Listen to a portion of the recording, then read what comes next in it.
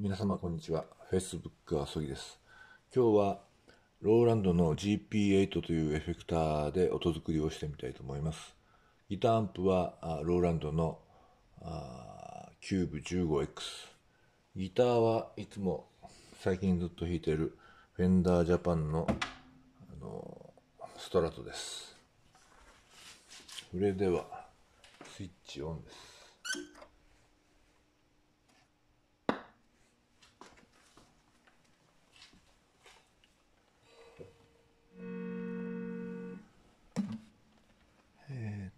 グループ B で作ってみます。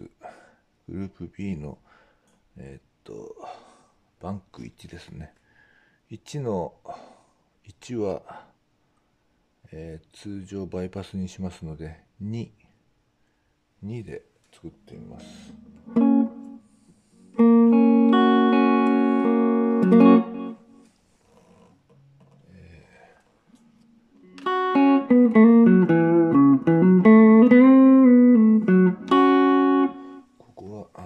ったいないかな。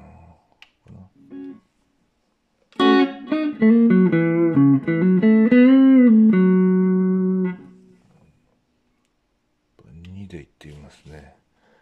まずうんとエディット。エディットをしてえー、っと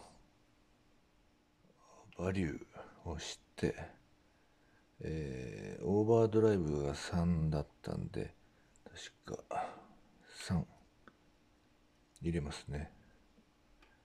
そして回すとオーバードライブが出てきます。今トーンなんでトーン、えー、ドライブ、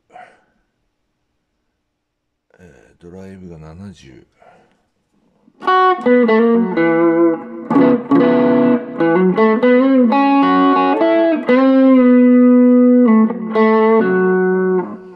ンをちょっと上げますか。トーンをバリュー。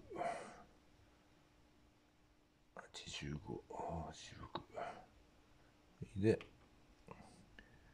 ライト書きます。それでインプットされました。